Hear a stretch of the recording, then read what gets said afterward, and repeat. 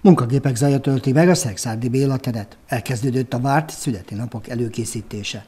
Ennek megfelelően a főbb helyszíneken az építkezés is beindult, ami a forgalmi rend átalakítását hozta magával.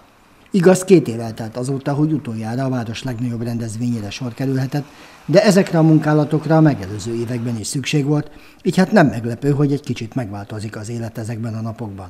A Béla Király téren már kedden kora reggel óta folyik a boros pavilonok felállítása, és a, a, a itt e, kitelepülő árusok e, faházainak, pavilonjainak az összeszerelése.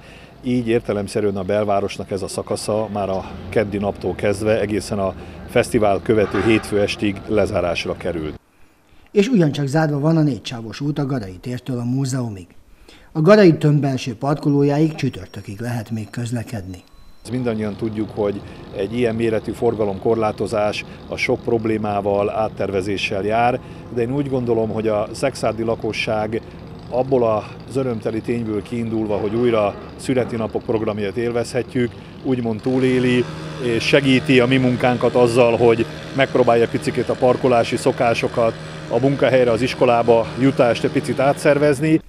Az esemény leglátványosabb része a szombati születi felvonulás lesz, mely a szokott útvonalon a Bezeridi utcából indulva a szakképzési centrum Adiszak középiskolájáig vonul majd. Ennek idejére a szakaszon is teljes forgalomkorlátozást vezetnek be. A Szexádi Születi Napok programjáról, a forgalmi rend átalakulásáról minden fontos információt elolvashatnak a Babics Mihály Kulturális Központ honlapján.